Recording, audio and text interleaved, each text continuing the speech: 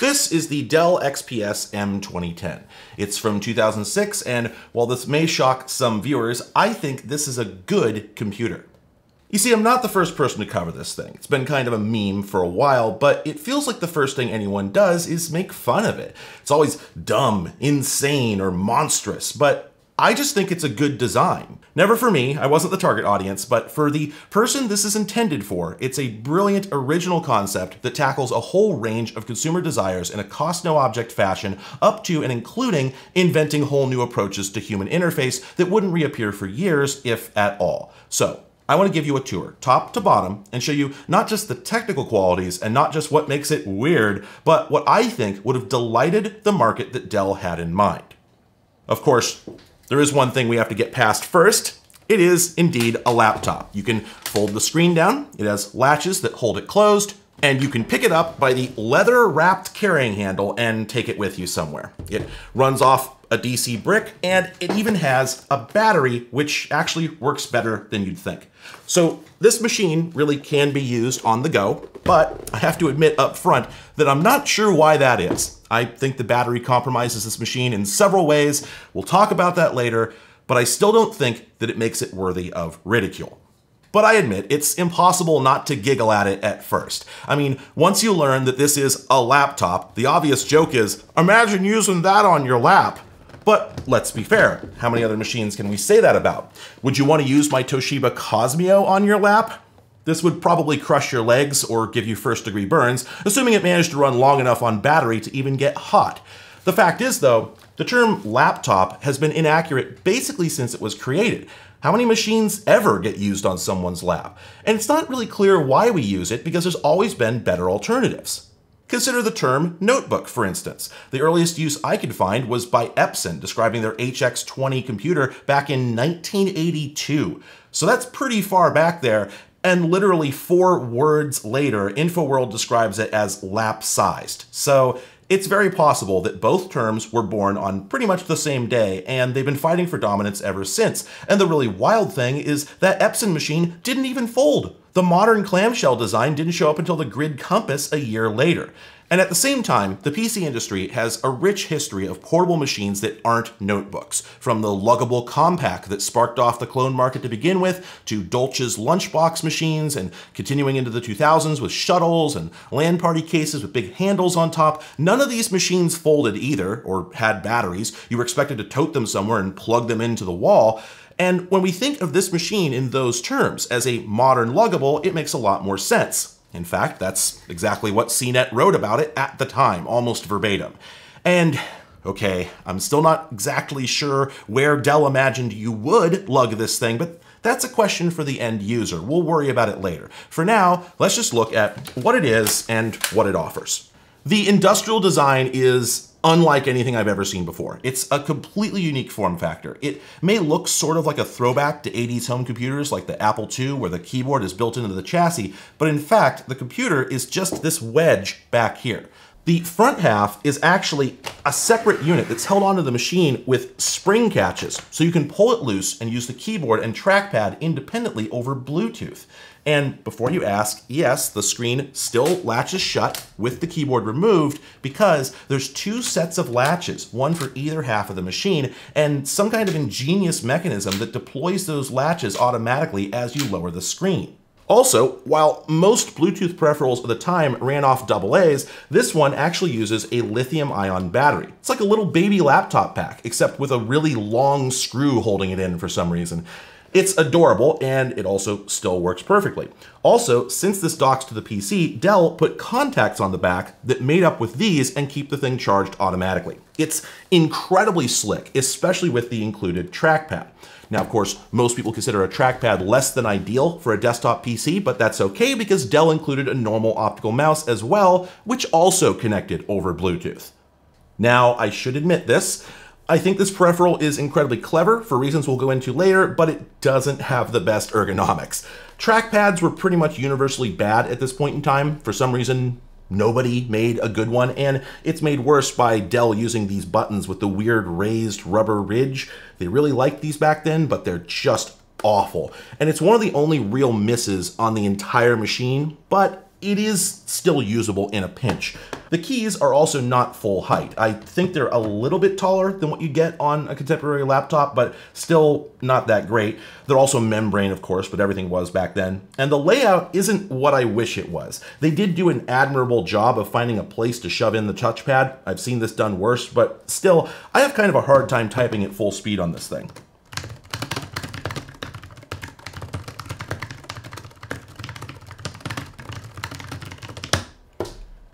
You know what? Actually, uh, when I tried this at home, I was working on a much smaller desk and my error rate was way higher. But now that I've got this space to work with, okay, it's not perfect. to be sure, but it's a lot better than uh, what I thought. And if I wasn't trying to type that fast, I actually would have a much better opinion of this keyboard. So I take it back. It's actually pretty damn good. Now, any full contact computer user still would have wanted something better, but I don't think that's who this was for. This is for the pure middle of the road consumer, and for them, this would have been fine, and it really could have been a lot worse. Likewise, removing the keyboard could make the PC look pretty awkward, but instead, I think this looks almost like a high-end stereo component. You know, your, your Bang & Olufsen BeoCenter sort of thing. The styling is pretty solid. If they'd gone with the then popular shiny piano black trim like HP was doing, this would look cheap, dated, and beat to hell at this point, but instead, they used brushed anodized aluminum, and it still looks terrific. In the center, we have the optical drive, and that feels even more like European stereo gear. The controls are all touch sensitive, which is kind of a bummer, but it was also the style of the time. They do at least give plenty of visual feedback. And when we hit eject, it lifts the drive up to accept a disk. And when we put a disk in, it lowers it back down automatically. And then we can see the disk spinning up through a window on the top.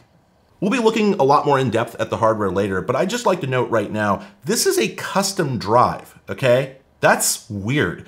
The majority of desktop and laptop optical drives are completely generic with at most a little bit of plastic trim on the front, but this actually uses a special slot loading optical drive with a window built into the top. I'm sure that's not an off-the-shelf part. Dell almost certainly had to commission that from TEAC, so we haven't even made it halfway through the outside of the machine and we're already looking at two completely bespoke components that you couldn't get anywhere else. It's ridiculous. Next up we have the monitor, which is 20.1 inches.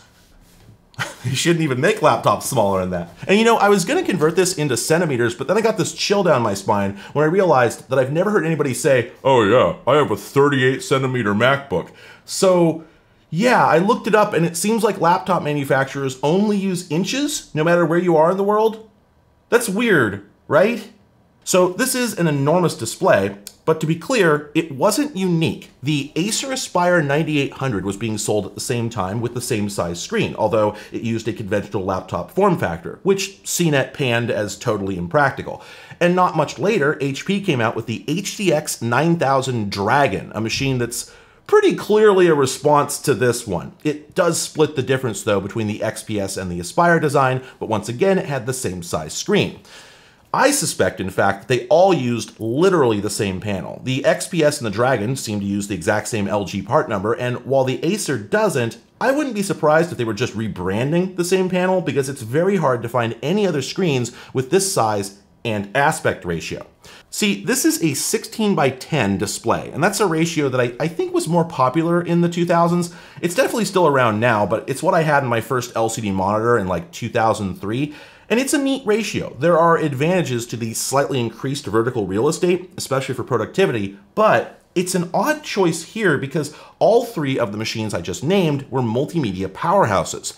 The HP Dragon had a media center remote that snapped into the palm rest next to the keyboard. The Acer had a built-in HD DVD player, and as I'll be proving throughout this video, the M2010 was definitely intended for watching TV and movies, for which a 16:9 ratio would be a much better fit.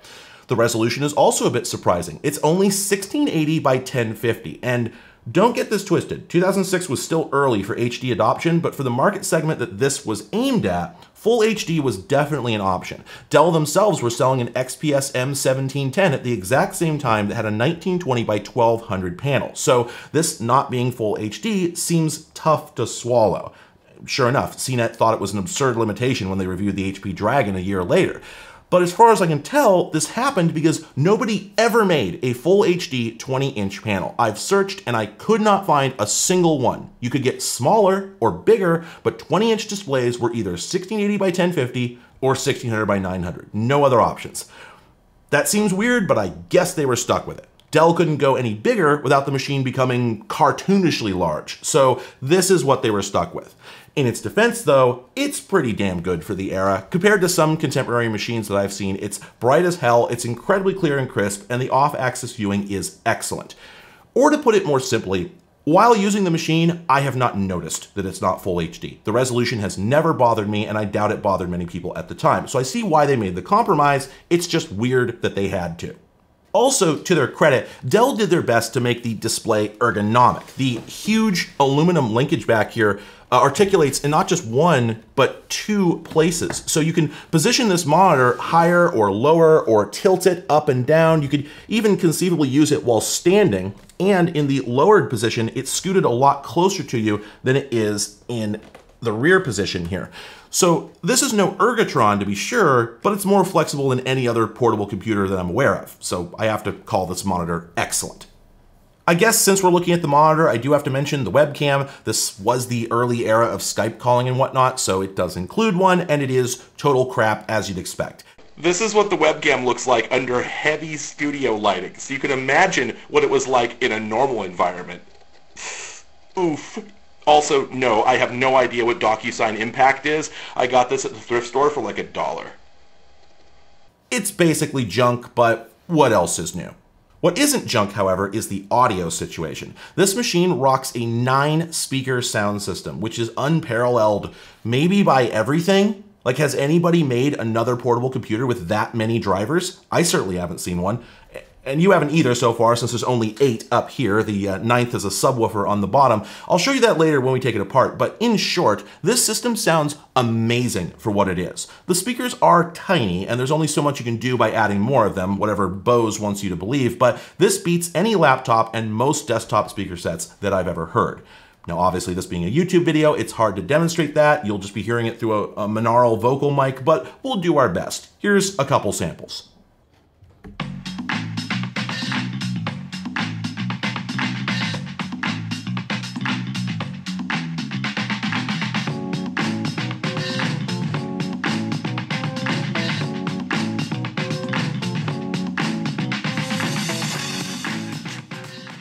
Take my word for it. This system sounds so good that while I was working on this script, there were a few moments where I played a song to test something and I just left it playing my library on shuffle while I did other stuff because it just sounded really good. And that's a hell of a compliment for a portable computer, especially of this age. So there's a lot more to look at, but let's just pause for a moment and sum up our first impressions because I think those are the most important thing here. As a person with money burning a hole in their pocket in 2006, you know, pre-housing crisis, you walk into Circuit City and you see this thing on display. Walking up to it, you see a screen that's as bright and sharp as your brand new HD TV, and it feels almost as big, at least compared to other computer monitors.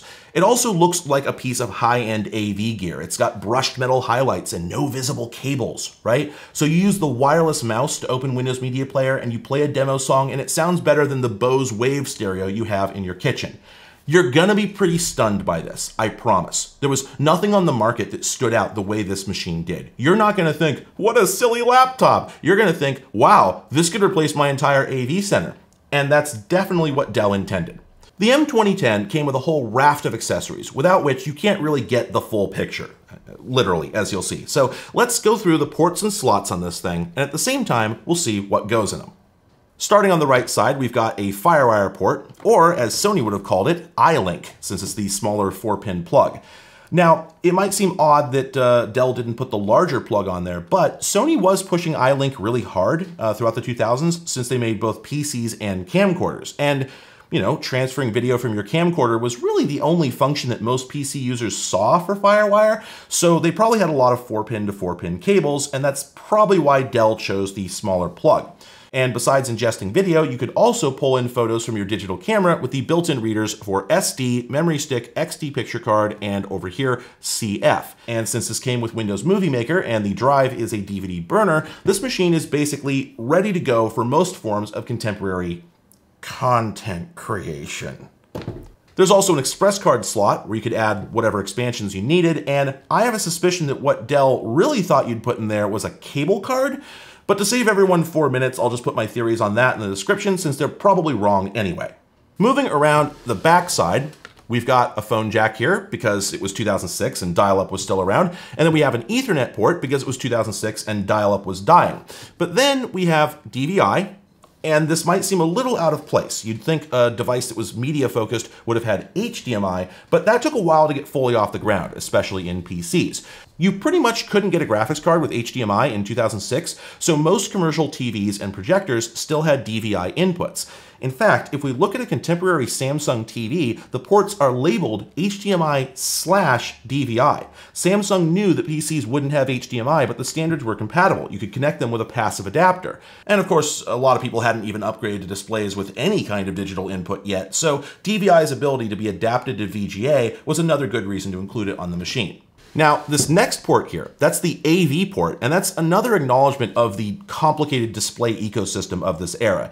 If you hadn't yet upgraded to an HD TV, you could plug in your standard def set here over S-Video, or you could get an adapter cable that would convert it to composite. Now, both ran at 480i, which was showing its age for sure, but I can tell you that in 2006, seeing your PC show up on a TV at all still made you feel like a king among men, even if it was some awful 852 by 480 ED TV like I had. Now, if you had one of the really early HD sets, though, you could use a different dongle, this guy here, to get analog component. That wasn't quite as sharp as digital, but it would run 1080, and I can tell you, it looked more than good enough for the time, okay? Especially since the TVs that required it were often 720p or rear projection based. So we've got lots of AV ins and outs so far. This is looking pretty good, but it's not that remarkable. Lots of laptops had adapters like this, but we're not done yet. Coming around the left side, we've got two USB 2.0s, and then we've got mic and headphone jacks, and then a Bluetooth pairing button for the keyboard. That's an interesting feature. I'm not sure I've ever seen a physical pairing button on a PC before. I'm not sure why, it seems like a good idea. Now, before HDMI, you couldn't get audio and video out of your computer in the same plug. So whatever you were using to hook up to your TV, you'd need to get the audio out separately. Now, this headphone jack could be adapted to RCA to plug into your TV or your stereo receiver, but it's not line level, it's preamplified, and it's only stereo. So if you're watching a DVD with 5.1 audio and you have a surround sound system, you don't want to get overdriven 2.0 audio instead. So that's why when we come around the back here, next to the uh, two additional USB ports, we also have this odd thing. This connector looks a lot like DisplayPort, uh, which had actually just come into existence in 2006. Fortunately, however, the plugs aren't actually the same because this actually goes to a Dell AV breakout box, which offers 7.1 audio, digital SPDIF, and two outputs for IR blasters, which I'll touch on in a moment. And to complete the look, the final accessory that Dell included was a TV tuner, either ATSC or DVB, depending on where you were. I'm not 100% sure that this was the exact model that came with this machine since it didn't work with the driver from the Dell utility disk, but it sure looks like the one that PC Magazine got, and a tuner is a tuner, so it doesn't much matter. The important thing is that with this, we now have all the pieces of the puzzle. The M2010 is incomplete unless you have all of the ins and outs, which pretty much covers all the in and out that you could possibly want for this era. So let's take a short look at how this would all come together.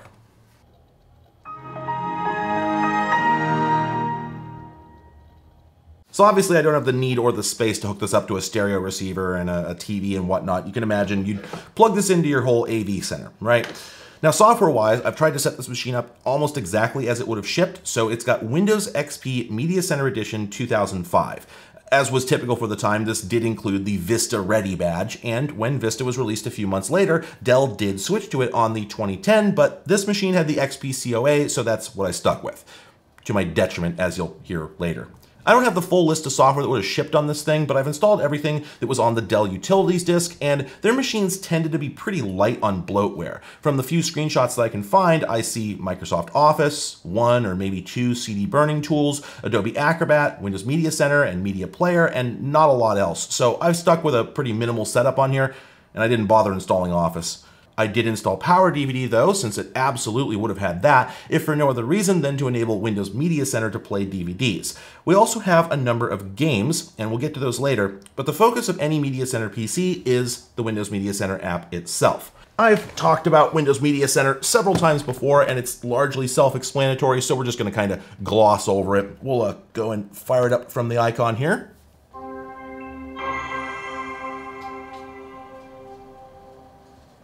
And it launches into a full screen interface. Uh, that's what we call a 10 foot UI because you can use it from 10 feet away and still see what you're doing. So from here, we can do everything you would want to do on a Media Center PC. We can uh, play music, we can look at pictures, uh, we can play the videos that we've edited together from our camcorder footage, uh, and we can play DVDs. Now, most of these modes you can probably imagine, so we'll just pick a couple, like uh, the DVD functionality. Let's put a disc in. And it shows right up. We can just pick a chapter here. This is the Dell XPS M1210 and it's completely unremarkable.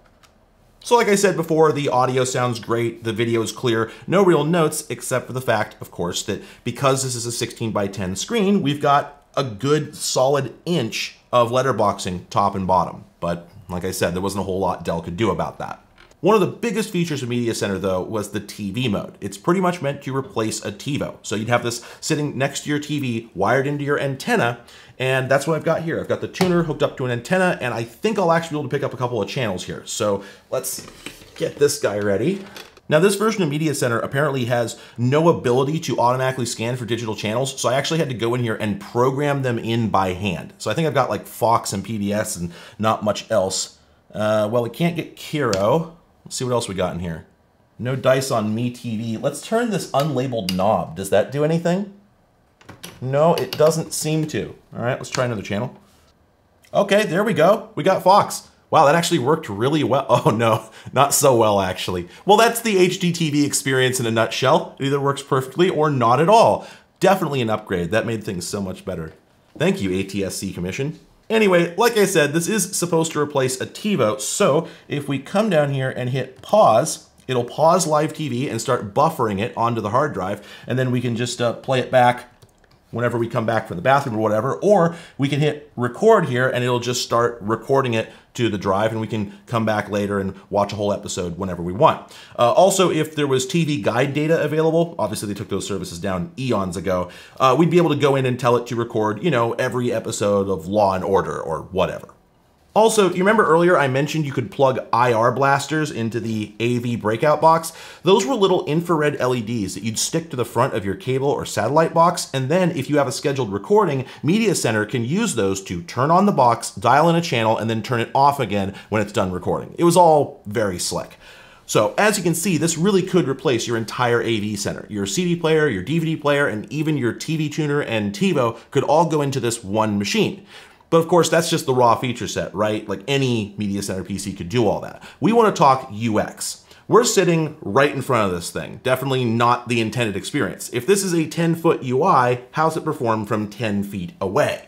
Well, that's a very interesting question on this computer in particular. You see, all Media Center PCs came with a standardized answer to this problem. It was the Media Center remote. Microsoft mandated these things and every vendor had their own design. I've got a few here. They're all slightly different, but largely the same. They were required to have certain things in common, like the enormous green Media Center button here that uh, basically just opens the program and acts as a back button.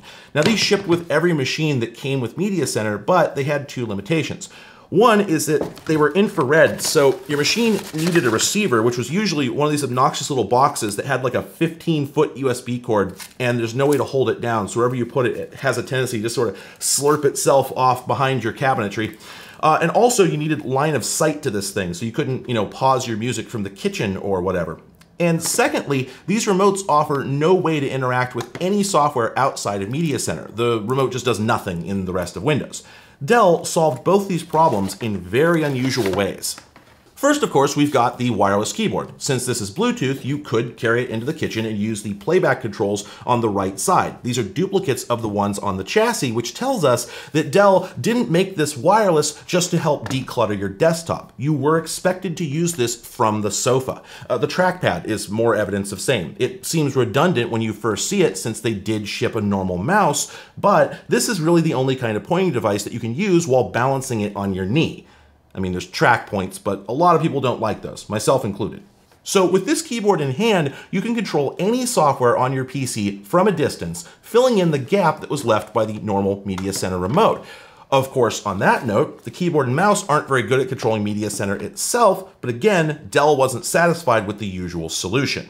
The M2010 also included a Media Center remote, but it's what Dell calls their premium remote. And let me tell you, that's underselling it. This thing is beyond premium. I'd say it's more impressive than everything else about this computer combined. It's utterly singular, as far as I know. It's the actual subject of this video, and I can't believe I'd never heard of it. At a glance, it just appears to be another Media Center remote. You've got the uh, Media Center Jewel, you've got the playback controls, but that's where the resemblance ends. For one thing, check this out.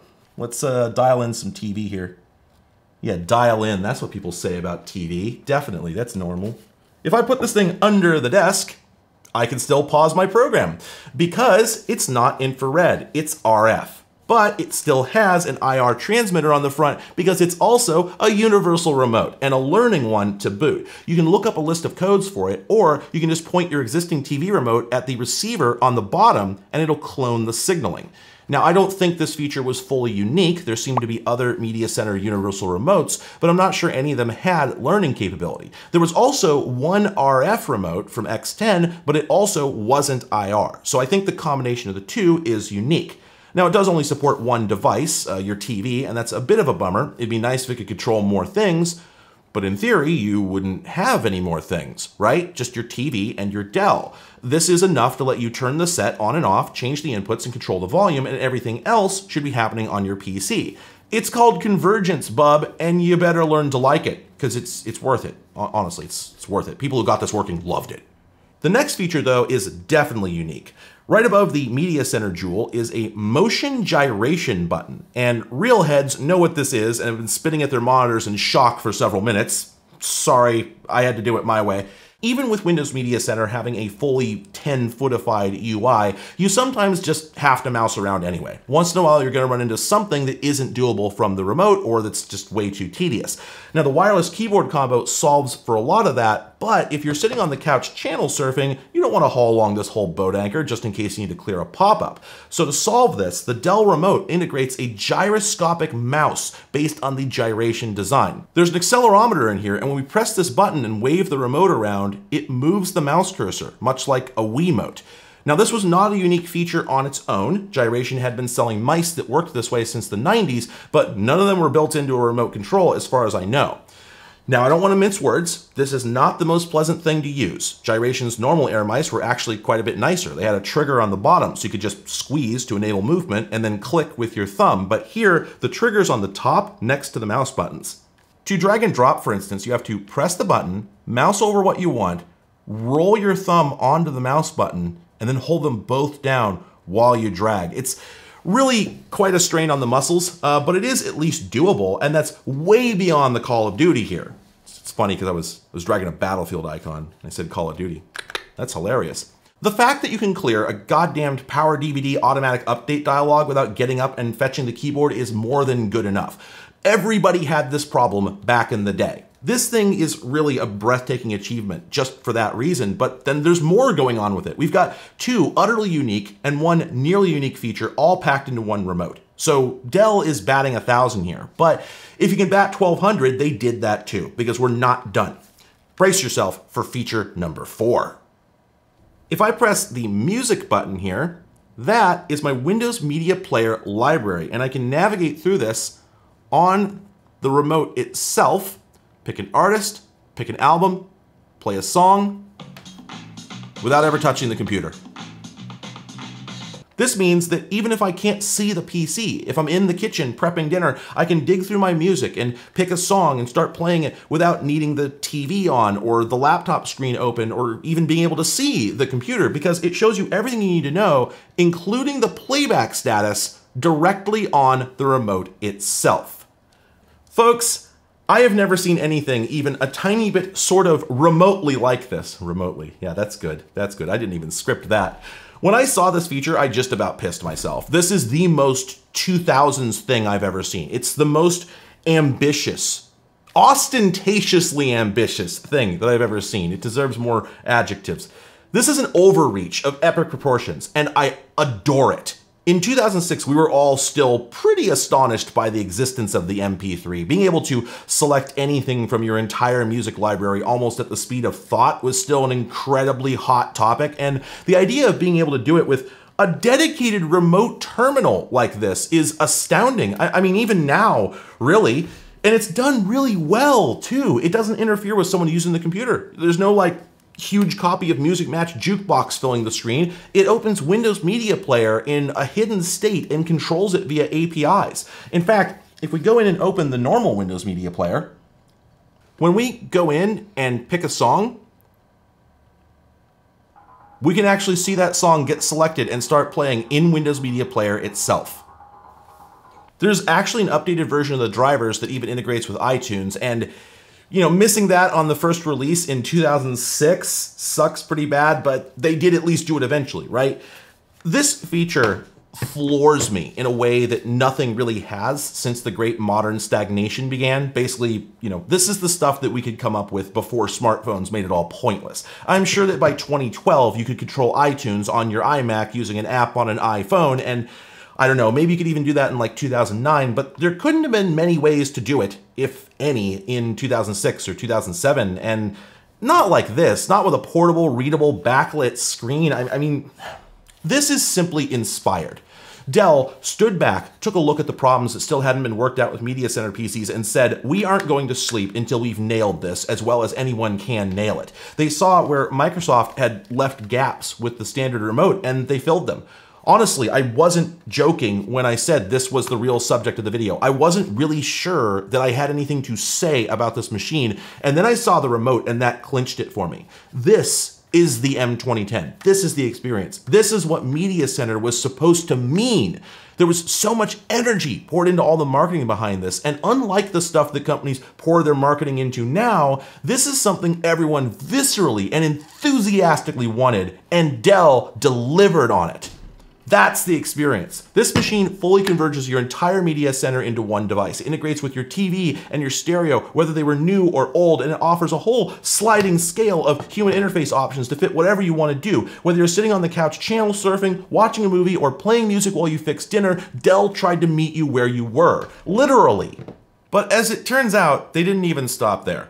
Magazines actually referred to this machine as the showstopper, and they implied that this was actually used in Dell's marketing material. So Dell clearly intended for this to be a powerhouse, and it's no surprise that the hardware specs are not half bad.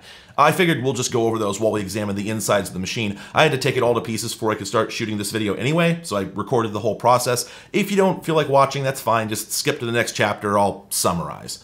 One of my favorite things about this machine is that it's actually pretty serviceable. I expected it to be a real struggle though, so on my initial attempt, I overdid it. I started on the bottom, I pulled the battery, which says it's in good health, by the way. Then I pulled the cover off the subwoofer, which is of course a very funny name for a 2-inch speaker, and there was nothing under there except the subwoofer itself and the Bluetooth module. That's it on the left. The little gold squiggle there is the antenna.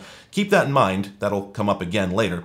Next, I tried pulling the big access hatch. That revealed the Wi-Fi card which was 802.11g, of course, since N wouldn't come out for a few more years. Then there were two RAM slots with 2 gigs of DDR3, and finally a normal CR2032 CMOS battery. Not some bizarre proprietary module wrapped in heat shrink, but just a normal coin cell. It was, of course, incredibly dead, but it was easy to replace. Intriguingly, there's also a spot for a second mini PCIe slot, but there's no socket installed. I'm really curious what that might have been, but the service manual says nothing about it. There is an antenna cable laying there, but Wi-Fi and Bluetooth are accounted for, so I have to assume this was for a cellular modem. And that's all there is on the bottom. There's no way to get any further inside, so at this point I realized I should probably get the service manual. And as it turns out, the actual disassembly procedure is much simpler than I expected, and kinda clever, but very obtuse. You'd never figure it out on your own.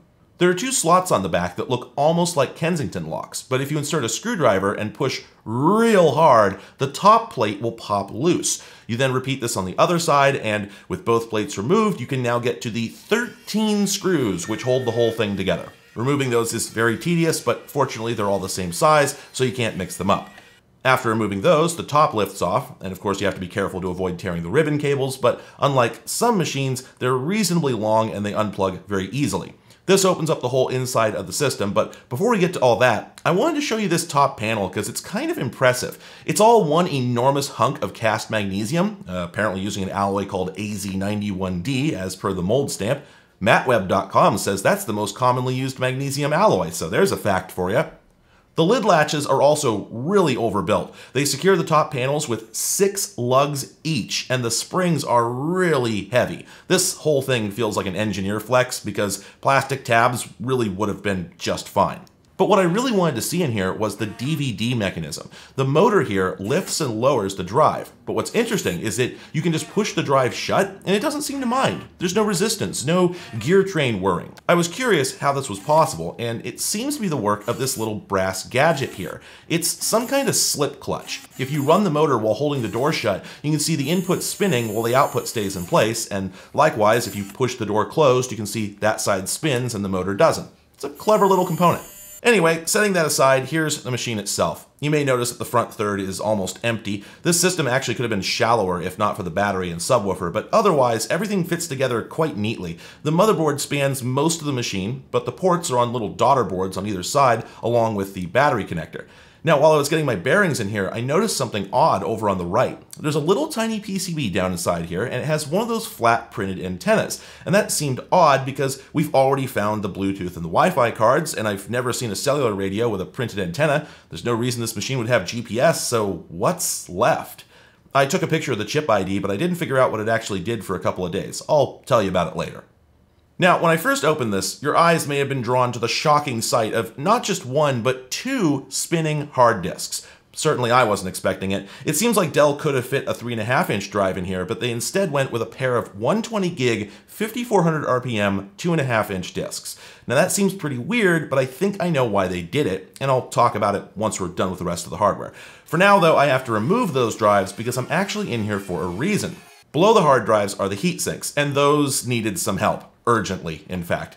From what I've heard, I'm lucky that my 2010 works because everywhere I've read, I've heard they like to give up the ghost due to thermal issues, particularly with the graphics. You may have noticed that there's two fans and heat pipes in here because this machine has an actual discrete GPU, and a pretty recent one for the time, a Radeon X1800. If we pop off the right side heatsink, we find the graphics module underneath, suffering under some very crusty and unfortunate compound. I scraped off what I could, then I cleaned up the GPU die, but I actually left the stuff that was built up around it because I didn't want to risk ripping off a resistor and I figure none of that should affect cooling. Now, I'd hoped that this would be a desktop GPU, but with the die cleaned off, you can see it is in fact a mobility version. That's still pretty good for the era though, as I'll be showing you shortly. I applied some of my most gamer compound, which ended up being some Arctic Silver 5 from like 10 years ago, and I'm not sure if that'll fix the thermals for good, but hopefully it buys the machine some time. I torqued the bolts back down, probably in the wrong order, and then I turned to the CPU cooler. That, of course, needed a good scraping as well, but I didn't bother cleaning the CPU because I'm actually going to replace it. I'm generally not one for min-maxing my old PCs. I mean, there were upgrades back in the day, but most people just use them with the parts they came with, and I usually prefer that experience for accuracy. It's the same reason I don't put SSDs in any of my machines. It would be a totally anachronistic experience. But here's the thing. This machine shipped with a Core Duo T2600. Not a Core 2, just a plain core, the original 32-bit version. Now that was at least a true dual-core chip, and it was smoking hot tech when it came out, but Dell switched to Core 2s as soon as they were available. And since I'd eventually like to try a 64-bit OS on this thing, I decided it wouldn't be inauthentic to upgrade the CPU. I did have a bit of trouble with this though. Earlier that day, I'd pulled a Core 2 Duo T7250 out of a Dell Precision, so I figured I was ready to go. I popped the old Core chip out, dropped the new Core 2 into place, and it wouldn't go in. I seesawed it back and forth, no dice. I checked for bent pins, tried again, no dice, and then an ancient dusty memory came rushing back to me. This CPU socket isn't just yellow for the aesthetics, it actually tells us that this is socket M, the one Intel was using for mobile chips in 06 and early 07, but in May 2007 they switched to socket P, which is nearly identical except that it's purple and the key pin has been moved by one position. So my 7250 was useless, but I still had the XPS M1210 that I used back in Quick Start episode 3. Its screen died during the shoot, so I'd planned on throwing it out, but I never got around to it. So I pulled that apart, which was actually far more involved than opening up the M2010, and I was pleased to find a Core 2 Duo T7200 sitting in a socket M. So I pulled that out, dropped it into the M2010, and it went right in. I pasted it up, and I was ready to put everything back together. I fired the machine back up and breathed a sigh of relief when it booted, proving that I hadn't cracked any cores despite my fumbling and poor torque hygiene. Now, however, I had to install Windows XP, and this was not as easy as you'd hope. Now, I have installed XP on literally hundreds of Dells of this vintage. It was my job for a while, but none of them had this kind of hard drive setup. I'm sure a few people noticed this during the boot up earlier, but this machine shipped with a RAID array from the factory. Those two 120 gig drives were pre-configured in RAID 0, or striped, which is very rare for a consumer system, but I suspect I know why they did it. Dell wanted to deliver a fast and responsive machine, and they did. This thing boots pretty quick, even for the time. But more importantly, they wanted it to be able to record a TV broadcast while playing back another one, even possibly while the machine's being used for other tasks, and I'm not sure if any single drive could handle that in this era. I looked up a review of a Seagate 7200 RPM drive from 2005, and the sequential benchmark topped out at 65 megabytes per second in sequential read. They didn't have a random access test, but I ran Crystal Disk Mark on the disk array in this machine, and I got about 75 megabytes per second sequential. I also got 35 and 45 in random access, and if we assume these are proportional, then the Seagate was probably more like 25 to 30. Now, was that actually insufficient for contemporary tasks? I'm not sure, but the point is, Dell was going for high performance with this machine, and while they weren't quite hype enough to throw a WD Raptor in there, it seems like maybe a pair of 5400 RPM drives edged out any single consumer grade disk, probably without a big leap in cost. And I suspect this was more common at the time than I realized. Uh, for instance, the Toshiba Qosmio that I reviewed in Quick Start Episode 5, which was another high-end media center laptop, had two hard drive bays and it supported RAID 0. Toshiba may even have sold it pre-configured that way. I think the lack of affordable SSDs was just really cramping their style in high-end machines, and this is just how they dealt with it at the time. Of course, there are many potential problems with RAID. Uh, if I lost one of these drives, I'd lose everything. That sucks. It's also Intel's chipset RAID, which I've always been told is CPU hungry and unreliable, so was it fair of Dell to impose all this extra complexity on consumers without warning them that, hey, this computer is literally half as trustworthy as any other one you can buy? Maybe not, but I don't know what else they could have done, and from the user's perspective, it's pretty much invisible unless it dies, or they have to reinstall Windows, neither of which the user would have to do themselves. They would probably take it back to Dell or to a service center of some kind, so it's kind of moot, although it is still a huge pain in the ass for the person repairing it. I admit, it's been a really long time since I installed Windows XP on a RAID controller in anger, well over a decade at this point. Uh, it was always an irritating process because uh, XP came with very few storage drivers built in, and the way RAID controllers show up to your OS was completely non standard at this time. Uh, the same goes for early SATA controllers as well. So, with any of those, if you wanted to install XP, you had to get a set of drivers on a floppy disk. It had to be a floppy, no USB, no CD, nothing. A floppy disk, and feed that to the setup program. And then, like six times out of 10, it just wouldn't work for some reason. You'd have to dick around with it for hours. And that's exactly what happened to me. I spent half a day working on this, trying to install Windows over and over and over, and every time it just said there were no hard drives present. And this was with Dell's own install media, like the exact version that would have come with this PC. So I was getting pretty frustrated. It wasn't until I slept on it and came back in the morning that I remembered people telling me that XP's RAID support was just broken that no matter what you do, it'll never actually install the drivers properly. Even if I'd gotten it to recognize the RAID, it would have done the first half of the install and then rebooted and immediately crashed. The only solution, according to everybody, is to slipstream the drivers, to integrate them into the disk image using a tool like nLite, and then they'll work both during and after setup. So I had to burn like three different disks before I managed to find the right driver, but in the end, I got it working. Windows installed, and it's been smooth sailing ever since. Now, I can't be sure, but I think that if I'd used Vista, I would have had an easier time of this. But as I said, uh, the machine came with Windows XP and using the original software was important to me, so I put in the effort. And I figured I'd just share in case you ever want to do this yourself. So that's mostly it for the under the hood stuff, but there is one other subject that I've been glossing over, uh, no pun intended.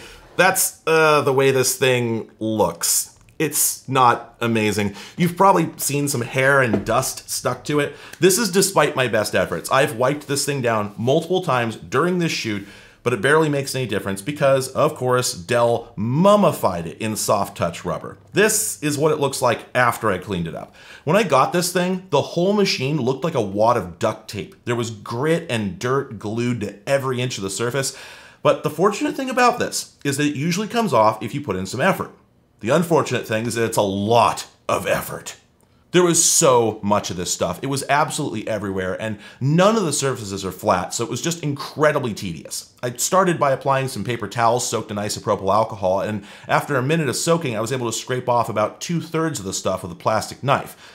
That felt satisfying, but that remaining third was a nightmare. I spent about eight hours scrubbing it with paper towels and a terry cloth, and I was able to remove about 90, 95% of this crap, but there were parts that were just impossible to get to. And some of the rubber wasn't fully rotted, so it wouldn't lift off. That's what's going on here. This is that rubber crap, but it's still in its original condition, and I just I have no idea how to get it off without damaging anything. I actually did scuff up the screen bezel trying to get it clean, and that's when I called it quits. So the result is not perfect by any means, but it's far less revolting than it was when I got it. So I have to put this in the W column.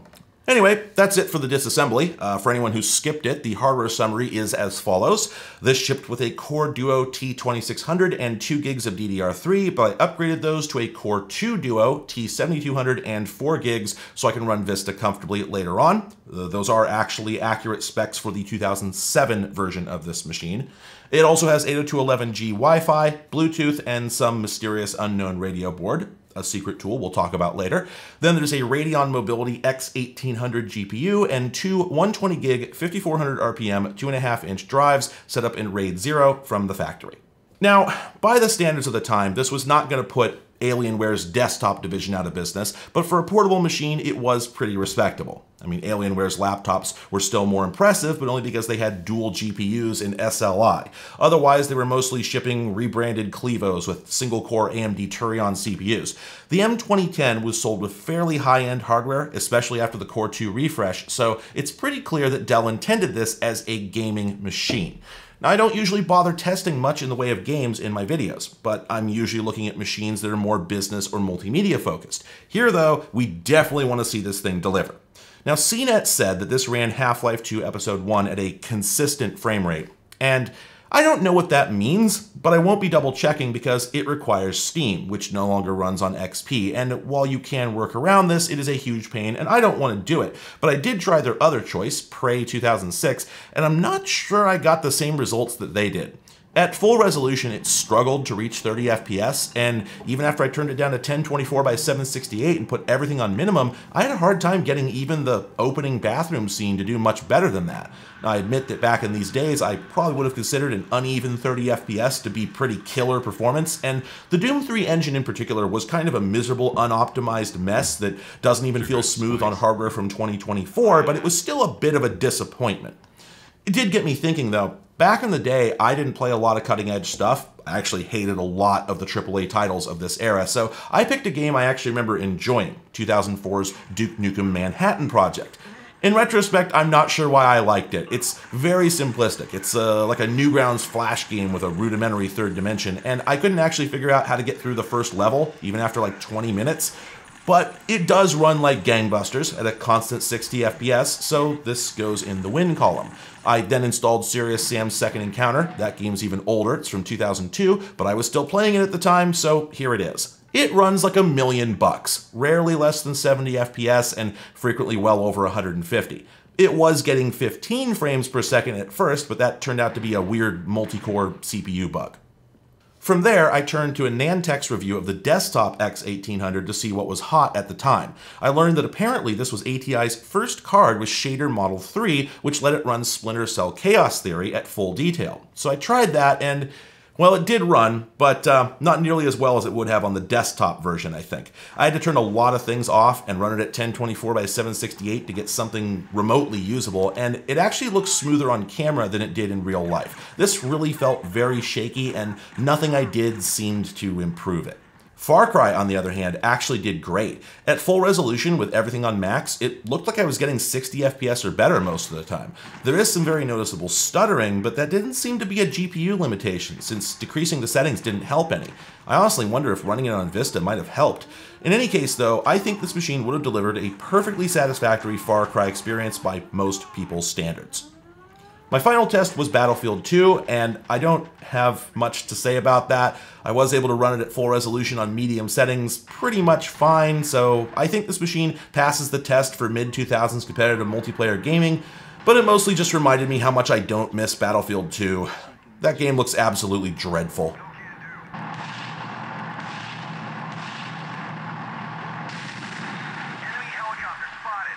So I didn't try out everything I could think of. I kind of wish I'd tried Fear in particular, but this was a good slice of contemporary popular titles, and mostly it just reminded me how much I don't miss that era of gaming. But this machine did handle them better than I expected. Not as well as I'd hoped, though. In fact, if you really wanted a smooth experience, you might have just been better off playing the games that came with Media Center. I don't remember these being included, maybe they're Dell pack-ins, but it turns out there's two surprisingly charming casual games in here. One called Otto's Magic Blocks,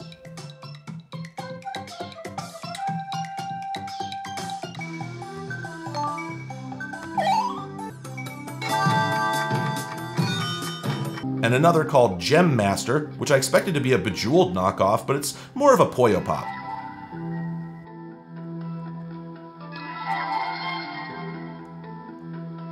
But neither of those require a GPU, so Dell surely intended for people to play 3D games on this, and for the price tag, which was, of course, well over $4,000, it really seems like they could have delivered a better experience. I question whether this really needed to be a mobility card. I feel like the chassis has the room for a full-size GPU and the space to cool it, and if Dell was hoping for this to be, you know, the family computer in the living room that's used for games when nobody's watching TV, then a desktop card would have sold that a lot harder. But I suspect that they didn't go that way, mostly because it wouldn't have done very well on battery. So, the battery. It's the weirdest thing about this machine by far. I'm not sure what Dell was picturing anybody doing with it. I mean, that's not to say I can't picture anything. For instance, I took it to a park, I set it on a picnic table, I tuned in some local TV, and I watched it for over an hour on a single charge, which is astonishing for a 20 year old battery, especially since I was stress testing it. Contemporary reviews cite numbers like three hours of runtime under normal use, and we don't know what that means, but I could believe that they meant TV or movie watching, since that's what this thing was built to do. So Dell didn't just put a battery in here, they put a good one in it. Nonetheless, Hardware Zone put together this delightful chart which graphs runtime to weight ratio on an enormous variety of laptops, and the M2010 scored the absolute worst by a significant margin. The machine does, after all, weigh 18 pounds, almost 9 kilograms. This is a completely absurd weight for a laptop, but of course, it isn't one. It's a portable computer, and those used to weigh 30 pounds on average. So the M2010 is really a featherweight for what it is. Lugging it from place to place isn't the most pleasant experience, but you aren't supposed to take it into Starbucks. I mean, you can, and it actually works a lot better than you'd think, but I doubt it's what Dell intended. But where did they intend this to go? It's a good question. Probably not actually a park because the screen is basically a mirror and it's not terribly bright. I know I said it was pretty nice, but only by 2006 standards. This is still just a CCFL backlight, so it's usable indoors, but only with a bright image on the screen. Dark, low contrast video is really tough to see, even under household lighting, and I found that most games were unplayable unless I pumped the gamma. So outdoors TV viewing isn't really on the table. I mean, it is literally on the table, but you can't see what it's doing there. One thing I can imagine that holds some water is media portability in an era before streaming. Given that you notionally record TV on this thing, it's one way to cart your backlog of Grey's Anatomy to a friend's house before the days of Plex. And while the array of video outputs will let you plug into just about anything they might have had, the screen is big enough that you could also just plunk it down on a coffee table and use it as is without having to mess with your friend's TV wiring. But that still doesn't fully explain the purpose of the battery. The only thing I can think of is that it serves as a kind of micro UPS. If you do have it in a precarious spot like the middle of a living room, it wouldn't do to have someone trip over a power cord, but if that happens here, you just get yourself untangled and plug it back in. No harm done. But I can't imagine that's what Dell was picturing. I think I get why they made the machine this big, why they developed the novel peripherals, why they put so many ins and outs on it, why it has two hard drives. I can see the arguments for all of these strange things, but this one element I just don't get. I can see some weird edge cases where it might be convenient, but they're nerd shit. this isn't stuff that would justify to a normal consumer compromising the rest of the machine just to accommodate it. I think this machine would make a lot more sense as an ordinary all-in-one with a desktop CPU and a GPU that just happens to have a carrying handle built in. So, as is usually the big question in my videos, how did this happen? Well, to me, this feels like the product of a skunkworks, an internal team given free reign to produce whatever they wanted, no matter how outlandish or expensive, as long as it made Dell look like innovative market leaders. This is, for what it's worth, the environment that produced the original IBM PC, so it's a venerable idea. Sony must have been doing it all the time, what with the non-stop parade of weird VAIOs they put out, many of which couldn't possibly have been responses to market research or focus testing. Someone just had an idea, a vision, and they were allowed to make it reality with very little oversight. And I think that's what happened here. Juicero style flexes like the huge aluminum monitor arm and the massively overbuilt top panel latch suggest a blank check was involved somewhere, but honestly, I can't decide if this design really is completely out of left field or if it's all the way at the other end, a Homer Simpson bubble car that combines every imaginable consumer request into a compromise of epic proportions. It has to be high power and big enough to see from across the room, and it has to play games, but it also has to be portable and run off a battery and be fully controllable from the kitchen and so on and so forth. I think overall the result is impressive, but if I have a specific criticism, it's that it's doing so much that you can miss some of the real innovations. I call this the curse of the concept car. Let's go back to this remote control for a moment. This thing is intriguing. This was made under contract by Gyration, who went on to sell it themselves as the Air Music Remote with a slightly different aesthetic, slightly different button layout, and a standalone USB receiver. But it didn't get released until two years later, and I can't really see any reason for that. You see, I actually have the gyration version of this remote. I bought this because I couldn't find the Dell one with a receiver on eBay, but as I learned, this is because the Dell ones didn't have a receiver. They work with one that's built into the M2010. It's that weird unidentified radio board that we found. That chip was a CYW USB 6934. That's a wireless USB controller and it does exactly what it says on the tin. It's literally just USB over radio. This was brand new technology at the time uh, and it only survived until about 2009 for some reason. I have no idea why it failed because while it was around, it got used in a few things that I own and it seems to work work just fine. We saw it back in Quick Start episode 6. It's how the Dell Latitude Z600's wireless dock worked, and I could run USB devices, audio, and display DisplayLink video up to like 25 feet off of it. So it seems like a solid technology. I'm not really sure what happened there. At any rate, though, the remote is able to have all the functionality that I showed you earlier because it is just a USB device. There's just a radio in between it and the USB port. I wasn't able to work out where this appeared in the device tree, but I'm sure it's a composite of several HID interfaces. The weird thing about this, though, is that the Gyration branded version seems to be the exact same thing. The USB receiver has the exact same chip in it, it just won't work with the Dell remote and vice versa. Now, obviously, they could have firmware differences, but I don't see why that should matter. Wireless USB was a standard, so both of these should speak the same language. Presumably, there were no real differences. They just deliberately locked this to the Dell receiver because they wanted the remote to be an exclusive feature of the M2010. I think that Dell themselves designed this remote, then had Gyration build it with a two-year exclusivity agreement so people couldn't look past the computer that they'd put so much work into and just buy the remote itself. To wit, this actually happened. People realized that they could buy the Dell receiver boards, wire them up to USB cables, and then use the remotes with normal PCs. So they did, and it seems like once Dell noticed a curious rise in the sale of spare parts, they took the receivers off their website. But I think this concern made sense because this remote is not really a product. It's an integral component of the M2010. It's not just something Gyration was working on that Dell licensed. I think Dell actually commissioned it from them, and I have two facts supporting this.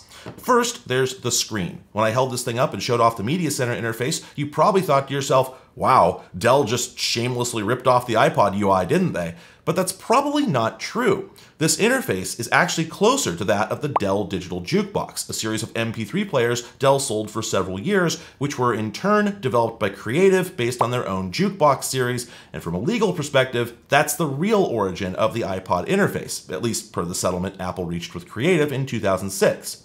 Now, regardless of whether Creative really had the right side of that dispute, there's no way that Gyration would have developed this on their own in that legal atmosphere. Dell, on the other hand, probably had the rights to the Creative UI via their existing partnership. So they went to Gyration and said, just put our media player interface right into the thing. And that's what they did. Or more accurately, it's what D2M Design did. This is our second piece of the puzzle. These are the people who actually designed the Air Music Remote, and per their website, they designed it in collaboration with Gyration for Dell specifically to pair with the M2010, which we now learn was once codenamed the Media Mogul. I found that term used elsewhere, so if you had any doubt that this was a multimedia focused machine, that should put it to bed. They also outright state that they cloned the Wiimote, and that was probably safer than you'd think, since Gyration was patenting gyro controllers almost 15 years before Nintendo, but I digress. Here's what I'm driving at.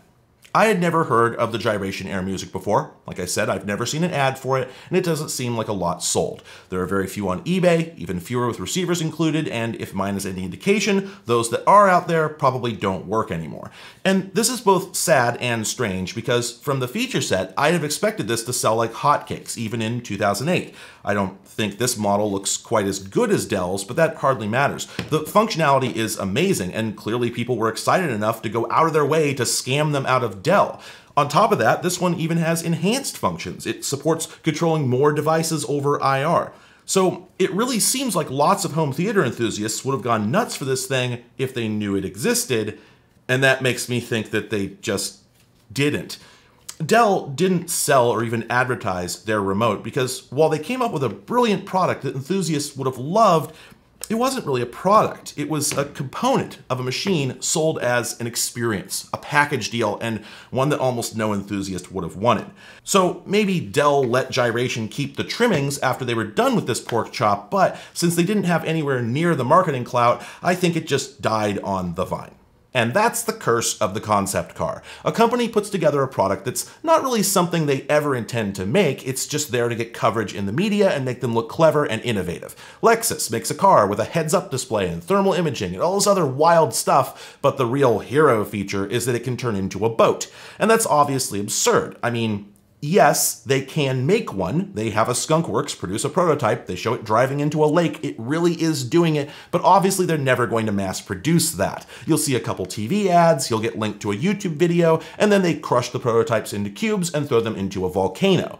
And the heads-up display and the thermal imaging go with it. They're trapped in the amphibious sports car. They will probably go down with the ship. Any idea that's invented as part of a publicity stunt is likely to live and die in that stunt, and I think that's what happened to this remote.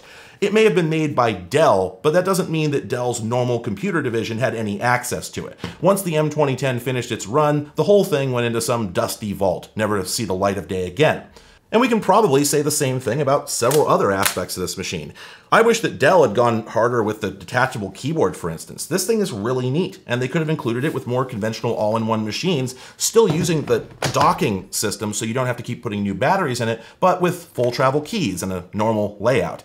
I also think the uh, dual articulated hinge is pretty cool, and this could have scaled to other machines, but it didn't really show up again in anything else for years and wasn't made nearly as well when it finally did and the high quality sound system. This could have fit into a lot of other machines. I find it more impressive than any other laptop speaker system I've ever heard, but all of this got trapped in the M2010, which is, albeit an impressive accomplishment and a solid product, nonetheless one that only a small sliver of the market was ever going to make room for in their lives.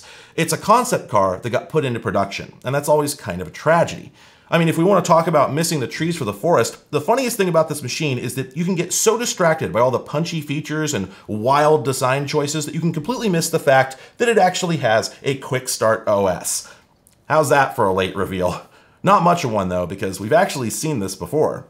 If you haven't watched the Quick Start series, which I recommend, it's my best work by far, I'll just summarize. In the mid 2000s, a bunch of system vendors started delivering dual boot PCs to consumers, where the primary OS was Windows, but the second OS was something much smaller, like a stripped down copy of Linux, so that theoretically the machine could boot up faster if you weren't planning on doing anything more involved than playing a movie or looking at email. The whole joke of the series, though, is that few or none of these solutions really worked. They either didn't improve startup time, or not enough to matter, or they were just so useless that there was no point. And this one's all three. It's called Dell Media Direct, and it's a clone of Windows Media Center made by Cyberlink. I covered this in Quick Start Episode 3, and that was really the dumbest entry in the series because this isn't even really a second OS. It's XP embedded. That's right, Dell shipped two different copies of Windows XP on the same machine. So, as you'd expect, it takes almost exactly the same amount of time to boot, rendering this all utterly pointless. And since the software isn't actually Windows Media Center, half the features are missing. You can't watch live TV, for instance. To its credit, since the wireless USB remote doesn't need drivers to function, it actually does work here. On Dell's other machines with Media Direct, you just had to use the keyboard, but that's all moot since you'd never use this on purpose. My guess is that Dell just included it because, well, technically this is an XPS laptop, and at this time, all of those were getting Media Direct, but including it on the machine that shipped with striped hard drives, probably the fastest boot time in their entire product range, is really just the cherry on top, reminding us that no corporation can go 10 minutes without making a really dumb decision. But in conclusion, I still like the M2010. It's pretty well built, and I think that the very specific audience that it targeted would have loved it. I never would have been in that audience, but I think it did exist. It's somebody with a house much prettier and cleaner than mine, with a lot more empty surfaces that they can park things like this on.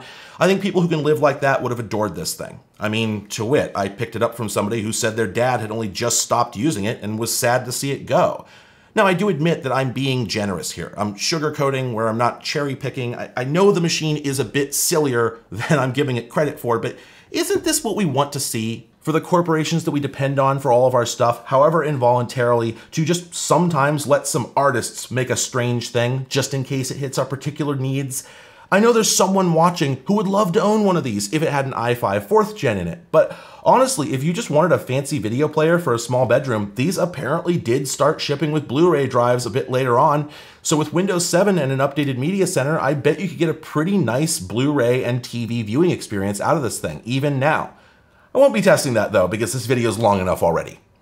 So, thank you for sticking with me. I know that was a lot, but I realized that if I didn't cover this my way, nobody was going to. If you enjoyed this video, then consider subscribing to my channel so I know you're into this sort of thing. Maybe turn on notifications if you want to find out when I upload new things, but if you really want to help me out, then consider subscribing to my Patreon like these folks here. My entire budget for weird stuff like this comes from viewers like you. I haven't seen one of these things in the wild since about 2009, so when this one popped up, I just had to grab it at the sticker price. No time for bartering or bargaining, so I paid more than I wish I had for it, but thanks to my patrons, I could do that. So I'm incredibly grateful to all of them for making this possible. I can't thank you all enough, and everyone else, thanks for watching.